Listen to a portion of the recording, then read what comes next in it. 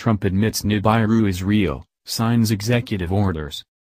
During his historic inaugural address to the American people, President Donald J. Trump hinted at Nibiru's reality, giving a sly but affirmative wink to millions of people who have eschewed mainstream science and embraced the Nibiru truths.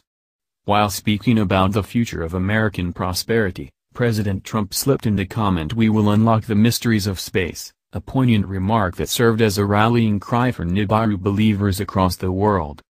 President Trump stopped short of full disclosure for obvious reasons, the eyes of the world were upon him. Our Washington source added his thoughts.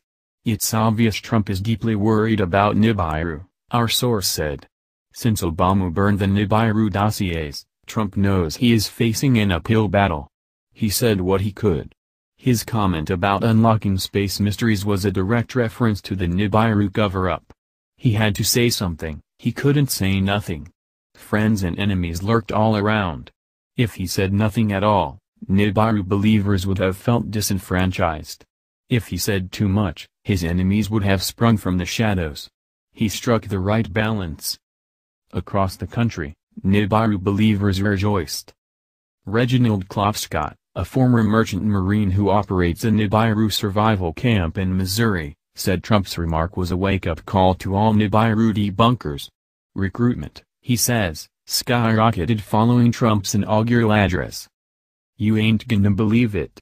Klopscott said. After Trump talked, we got two new members. We gettin' ready for that Nibiru. I read somewhere it's made of hardened tritium so we are fortifying our bunkers. I know that President Trump will soon tell us everything. In Washington, President Trump had a hectic day. He was sworn in, attended a lengthy parade, joined his wife at two inaugural balls, and, late in the evening, took his first steps into the Oval Office. He got right to work, signing several executive orders. Two gutted parts of Obamacare, our White House source confirmed that President Trump signed at least two additional executive orders, one of which dealt with terminating the Nibiru cover-up. With a stroke of his pen, President Trump nullified 30 years of Nibiru secrecy. The executive order rescinded Ronald Reagan's Nibiru Secrecy Act of 1983, an obsolete regulation imposing stiff penalties, 50 years imprisonment and unspecified fines, on Nibiru whistleblowers. That order was controversial, our Washington source said. Reagan went overboard. After NASA's IRAS detected Nibiru in 1983, Reagan signed the executive order.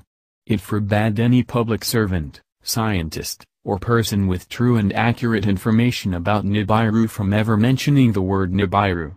Reagan even had the word Nibiru removed from dictionaries. Check for yourself, you won't find the word Nibiru in any dictionary anywhere. Our source was correct, neither Webster's nor the Oxford English Dictionary mentions the word Nibiru. Oval Office chatter suggests Trump is pacing himself, he does not want to steamroll into anything that might backfire and provide the opposition with ammunition to use against him. Regardless, Trump has stepped into a larger universe, and his day one actions clearly illustrate a steadfast resolve seldom seen in fledgling presidents.